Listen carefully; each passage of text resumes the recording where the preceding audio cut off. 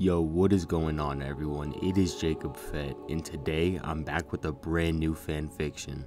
In today's video, we are jumping into the timeline of what if Obi-Wan had made the decision to train Luke Skywalker from birth. If you do enjoy these fan fictions, make sure to drop a like and subscribe to the channel for more videos like this.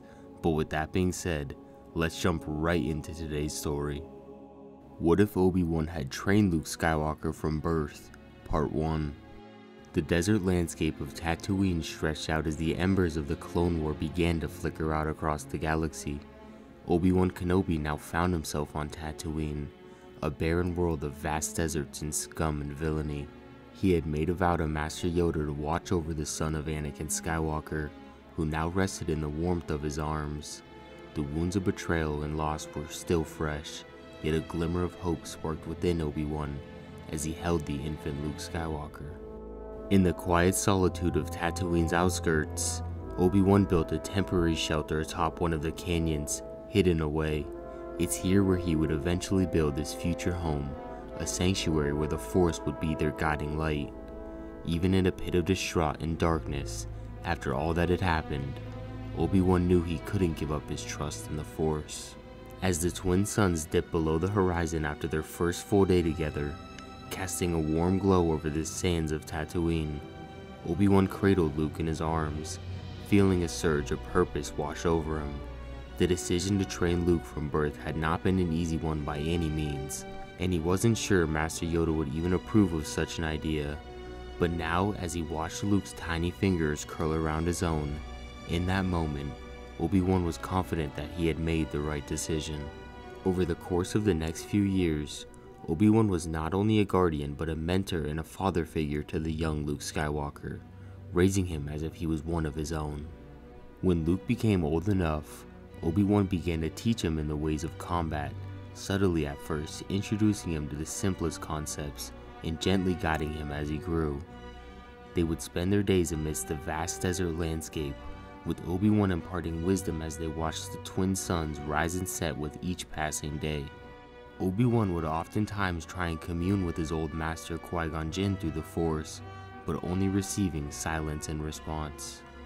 Even as Luke grew older, now roughly about 10 years old, Obi-Wan still remained hesitant, his heart heavy with memories of the past even after all these years. The betrayal of the clones, the fall of the Republic, and the tragic fate of his former apprentice, Anakin Skywalker haunted him on a daily basis with some days being better than others. Yet in Luke, Obi-Wan found a beacon of hope, a chance for redemption amidst all of the past darkness. Staying hidden away from the Empire and the rest of the galaxy, Obi-Wan Kenobi and young Luke Skywalker lived a quiet existence on Tatooine for the first 10 years. The two keeping to themselves, never giving anyone a reason to suspect the truth behind their existence on the planet. Obi-Wan would take trips to the market only when needed for food or necessities, nothing more since Luke was under his direct care in this timeline. He had to limit his risks to the best of his ability, and in doing so, Obi-Wan would not learn that Vader had lived in this timeline yet, still believing that his former apprentice died that day on Mustafar. Obi-Wan and Luke really wouldn't see much in their secluded life on Tatooine, and for the first 10 years, Obi-Wan wasn't able to communicate with Qui-Gon in any way. Unsuccessful for so many years, he began to question if he had made the right decision in taking on Luke's training. As the years continued to pass by, Luke grew into a spirited and adventurous kid just like his father Anakin. Now about 15 years old, he spent most of his days exploring the vast expanse of Tatooine's deserts and canyons, taking in the surrounding area and creatures native to the desert planet. One day, as the twin suns beat down relentlessly on the desert landscape, Luke raced through the canyons, his landspeeder kicking up dust of clouds in his path. Dodging womp rats and weaving through narrow passages with expert precision, Luke felt alive, the wind whipping through his hair as he pushed the limits of his rundown landspeeder, his piloting skills clearly reminiscent of his father Anakin's. Back at the hut, Obi-Wan sat in silence, legs crossed and eyes closed, his focus set on communing with Qui-Gon Jinn. Qui-Gon, Obi-Wan says softly, but still no response. Obi-Wan exhales a deep breath, almost in disappointment in response to the last 15 years of having no communication with his old master, even after Yoda had specifically tasked him with just that.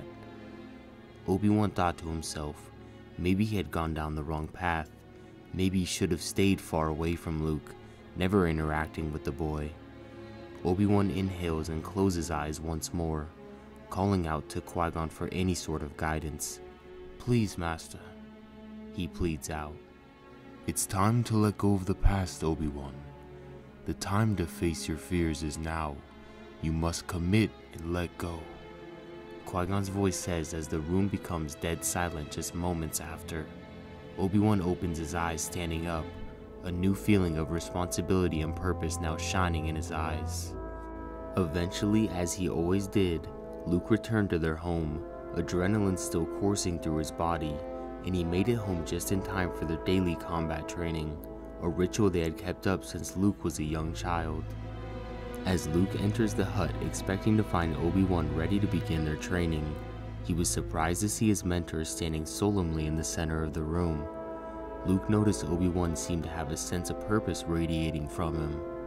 Obi-Wan knew that the time had come to reveal the past as he felt Luke was old enough to truly process the situation, partially in thanks to the revelation with his former master, Qui-Gon. Sitting together in their home on Tatooine, Obi-Wan recounted his early years as a Jedi, stories of his old master Qui-Gon Jinn, Master Yoda, the Republic, his mother Padme, the Clone War, and the tragic fate of his father, Anakin Skywalker and the Jedi Order. Luke listened in stunned silence, his world basically shattered by the revelations. Yet, even as he was struggling to grasp everything Obi-Wan had just told him, Luke could feel a newfound sense of purpose in his life within himself. This is a key moment where Luke is starting to realize his true potential and role within the galaxy. With a renewed determination, he vowed to fulfill his destiny, wanting to bring peace back to the galaxy. For the next few months, Obi-Wan found old comfort in training Luke, teaching him now in the ways of the Force. They would spend their days in the secluded deserts of Tatooine, practicing with weapons crafted from bones and other scavenged materials. Yet despite his rapidly growing skills, Luke yearned for so much more. When's it going to be time for me to train with your real lightsaber? He would often ask, frustration evident in his voice. We've been using these sticks for months. You must learn patience, Luke, Obi-Wan would reply, his voice gentle yet tinged with hesitation. The memories of Anakin's fall to the dark side still haunted him. Deep down, he feared the consequences of introducing Luke to the same weapon that had brought so much pain and destruction. On the windswept sand dunes, Obi-Wan Kenobi and Luke Skywalker continued their training, their daily routine consisting of vigorous drills and exercises, as Obi-Wan imparted every ounce of his Jedi knowledge into the eager Luke. As the weeks turned to months, Luke's skill with the makeshift weapons grew, and Obi-Wan began to see the time had come to introduce him to the next level of training, the lightsaber. That evening, as they sat inside their hut eating dinner, Obi-Wan reached for a weathered wooden box hidden beneath his bed. Inside, wrapped in a faded cloth, laid a piece of Jedi history, the lightsaber of his father, Anakin Skywalker. With a solemn expression, Obi-Wan unwrapped a lightsaber and handed it to Luke. Luke's eyes widened in awe as he laid his eyes on the elegant hilt for the first time. Obi-Wan explained the significance of the lightsaber, how it was a weapon of the Jedi, a symbol of their order, a commitment to peace and justice in the galaxy. Luke reaches out softly, grabbing the hilt for the first time, igniting the lightsaber, its vibrant blue blade springing to life with a crack of energy. Luke watched in amazement as the blade hummed and danced before him. And so, as the suns dipped below the horizon that night, Obi-Wan and Luke began a new chapter in their journey together. Under the dim moonlight, Obi-Wan began to teach Luke the basics of lightsaber combat, showing him the stances and forms that had been passed down through generations of Jedi. Luke's progress was slow at first with the lightsaber, but he was determined to learn, driven by a sense of duty and a desire to follow in his father's footsteps. As the days passed, Luke's skill with the lightsaber grew and grew, and he began to spar with Obi-Wan, testing his newfound abilities against the Jedi Master. Obi-Wan watched with pride as Luke's confidence and control increased, knowing that he was one step closer to fulfilling his destiny as a Jedi.